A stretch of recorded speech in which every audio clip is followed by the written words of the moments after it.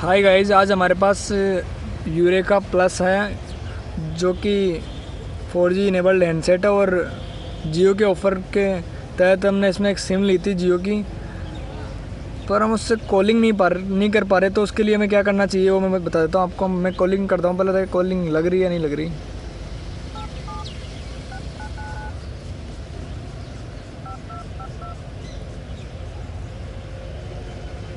जियो four G में call करता हूँ।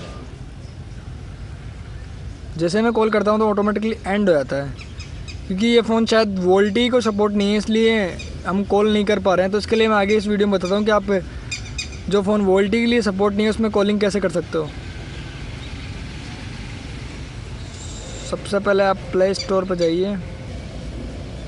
प्ले स्टोर पर जाके जियो जॉइन नाम का ऐप डाउनलोड कीजिए। जियो जॉइन डाउनलोड हो चुका है, इसके बाद में मैं इसे ओपन कर ओपन होने के बाद में कॉन्फ़िगरेशन करेगा कुछ, हमें फोर के नेट से ही करना है और जियो की सिम कार्ड इसमें रहनी चाहिए।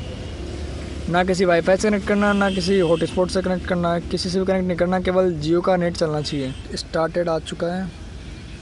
एस एम एस सारा काम हम इससे कर सकते हैं। स्किप पे क्लिक करते हैं। जियो जो इनका शॉर्टकट पुट करने के लिए कह रहा है होम स्क्रीन पर तो हम कर सकते हैं। और जियो जॉइन ऐप को मैसेजिंग के लिए डिफ़ॉल्ट एप्लीकेशन सेट करने के लिए कर रहा है तो हम ये भी कर सकते हैं। Yes yes. अब मैं इस ऐप से कॉलिंग करके देखता हूँ कॉल लग रहा है या नहीं लग रहा है।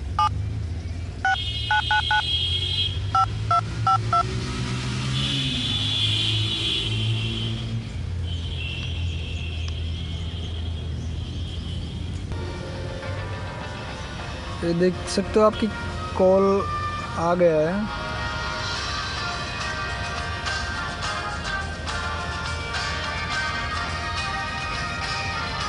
इस तरीके से आप जियो जॉइन ऐप से कॉल कर सकते हो।